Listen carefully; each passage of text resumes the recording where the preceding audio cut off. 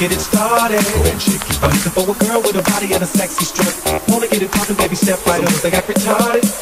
Some girls are body body. I'm looking for a girl that will do whatever the fuck I say every day. She be giving it up.